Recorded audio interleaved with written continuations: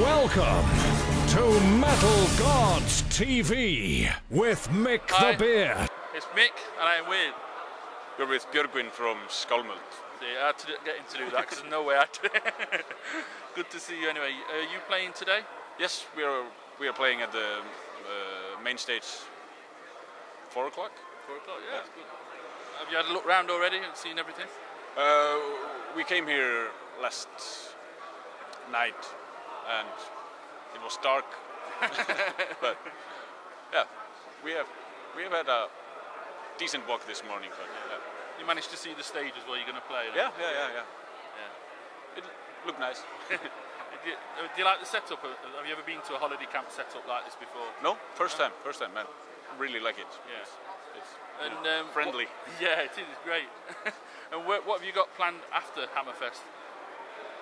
Uh, after after Hammerfest, we go back home to Iceland, and we have some we have some shows back home this spring, and then we have like four or five festivals booked this summer Yeah. in in in Europe. But after that, we'll we'll see. we are we are we are working on a. There are a couple of ideas of Yeah. tours and stuff, but nothing confirmed. So. And do you get to? Do you manage to get over to the UK much at all? No, not not this summer. It's just Germany, France, Poland. So this is more or less a UK exclusive show then, is it this time? Yeah, this is this is the only UK shows show that we have confirmed for this year. So Yeah. And what do you do when you're not in the band? uh, we usually work, try to make a living. Yeah. I work as a kindergarten teacher. Oh yeah, yeah.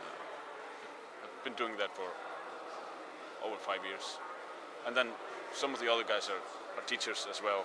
Oh, great stuff. And what do, what do the kids think when, they, when you tell them you're in a metal band?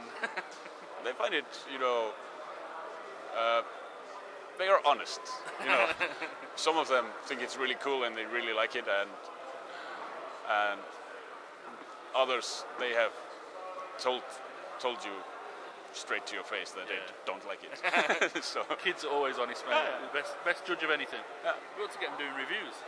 yeah, they should. They would not go around things. They would just tell it like it is. So. And speaking of reviews, how are you received in the UK? Do you get really good vibes in the UK? Yeah.